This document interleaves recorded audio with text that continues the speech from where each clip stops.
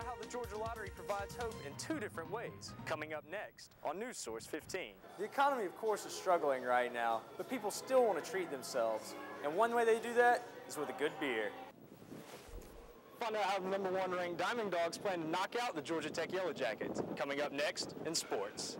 Uh, even though this helicopter is sitting still right now, just imagine earlier today, Sergeant Kevin Thompson of the Georgia State Patrol was flying at speeds of 115 miles per hour and was the only member of the fleet that was able to keep up with the car before it crashed into the ditch. Really looking to hope to win back their lost salaries by playing the lottery?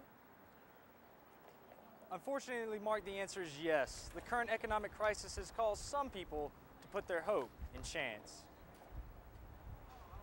Lottery sales are up, $42 million to be exact over the last fiscal year. The bad economy is the main reason why so many people are turning to the lottery to bail them out of this financial crisis. Patel, who has been working at the Golden Pantry on North Avenue in Athens for the last five years, says he's definitely noticed an increase in ticket sales since the recession began. Lottery sales has picked up, you know, and uh, there are a bunch, bunch of scratch off every other week. There's new scratch off coming out, you know, and there are a lot more people out there, they're just more into the lottery now. A lot of people will play the lottery to try and make some fast cash. Scratch off tickets like the one right here, the most common forms of tickets that are purchased. Instead of having to wait to see if you've won, you can play right away. The current economic crisis has caused some people to lose their jobs and their homes, and they have turned to the lottery for hope. I have personally been affected by the economy. I was laid off five months ago, and uh, you know, playing uh, the lottery is like hoping that I could win it so that I wouldn't have to be uh, financially bankrupt. Ricky Willis knows people who pay over $120 a day for lottery tickets. He said that he plays every day and is waiting for that big payoff. I'm gonna stick with it, but as much as I can, I'm gonna stick with it. I sure am.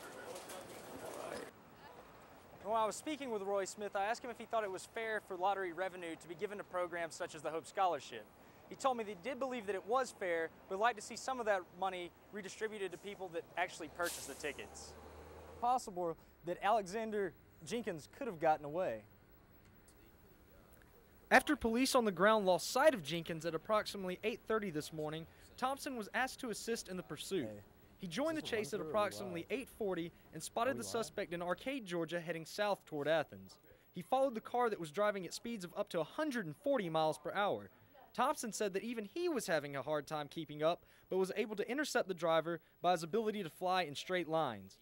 Uh, even though this helicopter is sitting still right now, just imagine earlier today, Sergeant Kevin Thompson of the Georgia State Patrol was flying at speeds of 115 miles per hour and was the only member of the fleet that was able to keep up with the car before it crashed into the ditch. The chase came to an end soon after Thompson flew into just 200 feet above Jenkins' car to let him know that he had him in his sights. Trying to let him know that I was there because, uh, you know, he had been focused and trying to keep up with who was behind him or whatever and wasn't really paying attention to anything in the air. And uh, of course, then when I got involved in it and uh, was able to intercept the chase, I wanted him to know that I was there in the air and that you know he wasn't going to get away. So it was better just to go ahead and try to stop the chase there and uh, persuade him to pull over and, and give up. But he didn't have that on his mind this morning, so the results are as they are. Now, those results that Sergeant Thompson is referring to deal in result or in reference to the events that took place earlier today. News Source 15's Mark Davenport describes to us the aftermath of what took place in the chase earlier today. To a recently published report by the Beer Institute, beer sales are doing just fine despite the current recession, and this couldn't be more true than for a town like Athens. Beer sales are up. Sales across the board for microbreweries in particular are up 10%, and Terrapin Beer Company in Athens has seen increases over 50%. John Cochran is co founder and president of Terrapin Beer and says that despite the current economy, sales have been great. John couldn't give me an exact reason for why beer is doing so well, but he oh, did offer a theory. This is my theory, okay? This is not a scientific fact, but people cannot afford to go buy a new car. They can't take that vacation. So even though they can't go spend a lot of money and they're cutting back, they still want to feel like they're doing something for themselves. And I think beer, especially good craft quality beer, really fits into that. The economy, of course, is struggling right now, but people still want to treat themselves. And one way they do that is with a good beer. Bars like the Globe in Athens have also noticed an increase in the success of beer since the recession started. Yeah, if it's, several people are worried, yeah, but they're still coming in, you know. I mean, maybe they have a PBR instead of a Chimay, but as soon as New Year rolled around, things have been back to normal on the bar side. The Globe is a restaurant bar and understands firsthand just how bad the recession really is. Although beer sales have been good, the restaurant side of things has been a little tough.